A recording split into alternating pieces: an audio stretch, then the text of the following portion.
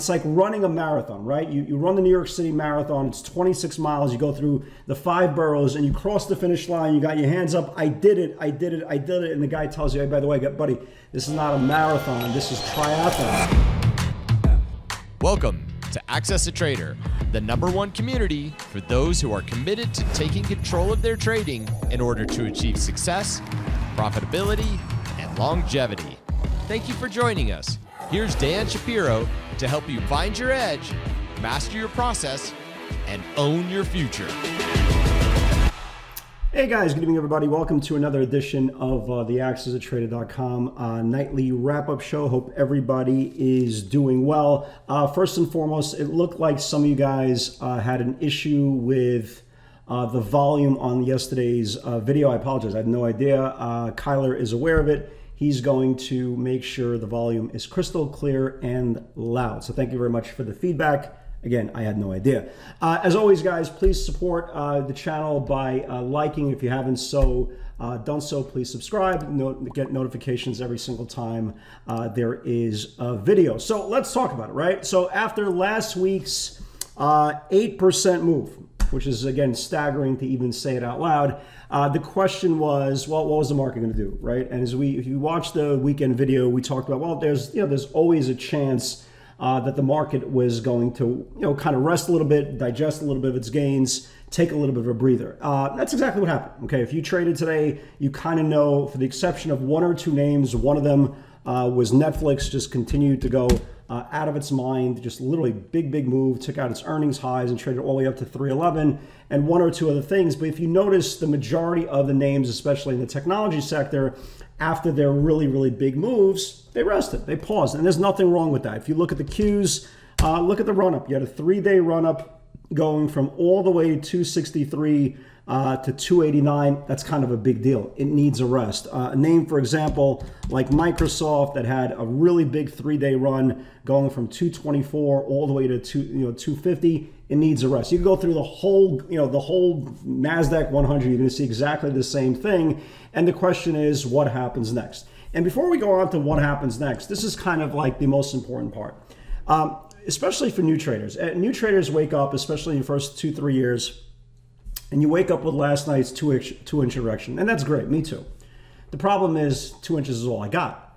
Your problem is you're too emotional still. You're still in the honeymoon phase of the market. You're still in go, go, go, go, go. The market's open. I have to put on 68 positions in the first 30 seconds or I'm a failure it's not exactly how it works, right? And there, there's a time and the place for everything. When there's an area of the market that gets very, very aggressive, like we saw uh, last week with the NASDAQ 100 that reclaimed the 50 day moving average, that was an aggressive sign. That's why you saw not Thursday sessions, we saw that 7.5% move, but Friday session, the continuation off the reclaim from the previous day, right? That's aggressive. But at some point, stocks get into supply, right? And that's exactly what you saw here today in the NASDAQ 100. You saw that in plenty of stocks, right? Look at Apple. Apple's just up here, for example. It hit supply, came back in. If you look, for example, on NVIDIA, right, you'll, you'll see this over and over and over again, right? Hits supply, you'll see that's this Bollinger Band, came back in. Amazon completely trapped in the middle of the channels, didn't get, get didn't get even get up there. Uh, Meta did exactly the same thing, hit supply, come back in. So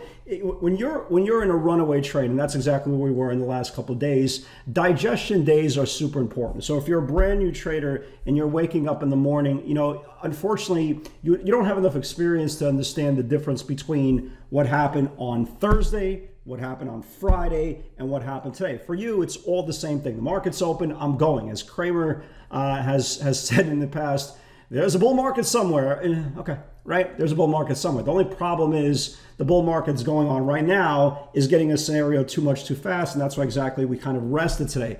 The problem with that is when you're a brand new trader is you don't know the difference between stop and start. You know, right? You don't know the difference between passive aggression. You don't know the difference between expansion and contraction. And what you learned today was what the, what the power of contraction looks like, or in layman's term, digestion, right? Digesting uh, recent gains. And the problem with digesting is you know, after an 8% move, it was a 5% move, 4% move, you know, we probably need one day or so, right? The fact that we had an 8% move, you might need a couple of days of sideways action uh, to kind of get everybody to kind of take a deep breath. Again, it's like running uh, it's like running a marathon right? You, you run the new york city marathon it's 26 miles you go through the five boroughs and you cross the finish line you got your hands up i did it i did it i did it and the guy tells you hey by the way buddy this is not a marathon this is triathlon so you have to bike for another you know five miles and you have to swim for another 10 miles right and you'll be t- exhausted right you, feel, you think you finished you think you've won something but the problem is you're tied and the race is well, first of all, never going to be ending, but the point is you're not there yet. And that's exactly what we face here with the Bulls. The problem, what, what's going to happen in the next couple of days is you're going to see a lot of channels continue to contract until the Bulls get their deep breath. I believe somewhere around probably around Wednesday or Thursday, we're probably going to resume. The good thing about it is, again, we continue to build, right? As long as we stay above this light blue line, which is the 50 day moving average, we're good. We're Gucci, as the children say, right? we're good to go. The problem is we don't know how long this distribution distribution or digestion level uh, will take place. Maybe it could be one more day, maybe it could be two more days. But the point is, after you have such really cartoonish like candles in such a short period of time, they need a rest. Now, what can you do here, right? There's two things you can do. Number one, you can be completely oblivious to what's going on here and wake up tomorrow at 9:30 and go, "Oh my god, I got to trade, I got to trade, I got to trade, I got to trade." And probably by 9:33 when you put on 16 positions, they all kind of went up and down 13 cents. You finally realize, well, wait, wait a minute, what the hell's going on here? How comes nothing is moving? It's not because it's nothing's moving, it's because things are resting. That's the whole point. So you have a, you have a, you have two things you can do. You could either ignore what I'm saying and go guns blazing tomorrow 9:31 in the morning or you can you can do what a lot of traders are doing right now are waiting for signs of a peak, right? A peak, a little a up, perk up, uh, perk up of uh, previous days channels, and that's exactly what a lot of professional traders are going to do. We're going to sit there and we're going to wait for these things to kind of resume. Again, might take a day, might take two. The problem is if you turn around and start trading tomorrow, right, like you did last Thursday, you're going to run into a world of crap. You're going to churn yourself, and more important, well, equally as important is your mental equity is going to be depleted. So by the time Wednesday and Thursday rolls around, you're going to be so brain dead because you can't get anything going because you don't realize, or at least don't acknowledge that these channels are contracting, that you're going to be so tired that when the, everything kind of wakes up, you won't even trust it. And oh, by the way, your brain's going to be dead. You're going to be a mush going into Friday's session. So trust me, there's, there's two things that separates uh, professional traders and novice traders. It's the ability to sit, right? You want to trade but you don't have to trade. You really, really want to trade, but you don't need to trade. And that's the point, right? You don't need to trade. Everybody has a different style, a different philosophy. Uh, you could be an intraday trader, a swing trader, scalper, whatever, whatever your drug of choice is. And we talked about this uh, so many times, but unfortunately, not every single day, especially doing during a distribution channel or a digestive period is your spotlight, right? Your your your specific stocks going to be highlighted. For example, for me, I trade 99% of my stocks beta, right? Everything went sideways today. I had zero value. And the problem with zero value is I missed the pivot on Netflix. Not only did I miss the opening range at 291, I also uh, I decided not to do the 306 before I ran to 311 just because of the liquidity, just because everything else was doing absolutely nothing. So I put myself in a situation while, well, you know, taking FOMO, FOMO out of the picture and, and, and, attacking the market with common sense. There's days throughout the week, there's days throughout the month, you're going to lose value, right? Like you guys remember on Thursday, I took it easy on Thursday despite a 7.5% rally because we gapped up 5%, right? I can't, couldn't wrap my brain around the, the, the idea of going long 5% into the open. The next day, Friday, was ridiculous value, right? There was everything was going on. Qs, Qs, this one, this one, NVIDIA, blah, blah, blah, AMD, every, everything was going nuts. So the point is, not every single day is going to meet your uh, specific qualifications, your criteria. It's not going to match up your process. And unfortunately, that's the key. And for me, uh, familiarity breeds contempt. And for me, that's a good thing because, again, the fact that I'm trading the same stocks over and over again,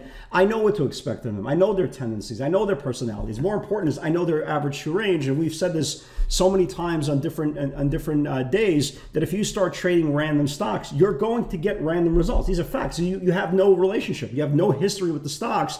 And that's exactly what happens in a distribution channel. You're going to start looking at names that you usually trade and they're not getting anywhere. Uh, so I, I, think going into tomorrow, not that I, not that I'm sitting there going, oh, I want to short some stocks. It's not really what I'm saying is, but I did find some names that did not participate, and that's the key. While there's distribution, you have a choice of trading stocks randomly, start looking at different things, or finding some setups that look pretty good. So just in case there's one more day of a back test or one, one more day of distribution and the NASDAQ kind of goes sideways, I actually did find some pretty good channels here and some pretty good groups, you know, pretty good stocks in different groups. Again, sometimes beggars can't be choosers while we wait. Check out some of these channels. Look at the, you know, look at the defense stocks. Look at General Dynamics, right? As we as the market was exploding Thursday and Friday, General Dynamics had this really really ugly move. Look at this General Dynamics. Look at look at this range here. If GD confirms Friday's channel, man, maybe we get a nice little wash in. Again, usually not a name that I would watch. Again, beggars can't be choosers, right? Look at Lockheed Martin, the same group, right? Look, look at these channels here, right? These are swan dives. Lockheed Martin starts taking down the bottom of the channel here. There's a lot of room uh, to go as well. Look at a name like Tesla, right? I was watching Tesla today. I go, wow, this thing looks really, really good. And then I turned around. I go, wow, it looks really, really bad and they started coming in with 200 calls to the upside. They started coming in with 180 puts to the downside. And guess what? It did absolutely nothing the whole day except for go absolutely sideways. So maybe again, maybe Tesla, right? Maybe Tesla either wakes up tomorrow or it starts losing the previous couple of days channels. Again, we have to be a little bit creative. We can't just walk into tomorrow and say, all right, let's wait for Amazon to break out. Amazon broke out four days ago, right? Let's wait for Apple to to break out. Yeah, Apple, Apple not necessarily broke out, but Apple started its move four days ago right? So it's what one of those situations that you might want to start looking at some alternative names. You might want to start looking at some alternative groups. Or if you're an adult, right, these are all decisions. Or you could turn around and say, you know what, I don't even want to trade, right? I don't really want to trade these random stocks. I rather wait for everything to wake up again and start getting on the second day of the move. Because remember, at the end of the day, its most important part is understand as long as we stay above the 50 day, and that's exactly what we're doing, even if we backtest one more day here, we hit this rising support, it's still considering building above the 50 day moving average, as the old saying goes, above the 50 bullish, below the 50 bearish. Tomorrow, you got Walmart coming out with earnings. Obviously, it's going to be kind of an important thing because it's going to highlight uh, retail and consumer uh, spending. But look at this chart on Walmart, man. If they if, if this thing starts building off this bottom channel here, Walmart could get hit as well. So keep an eye on that as well. One interesting name, kind of a speculation name you guys might want, want to keep an eye on. Look at this uh, DWAC. Apparently, you know, this is like, you know, tied in with Trump. Apparently, Trump is going to announce something. What could it possibly be?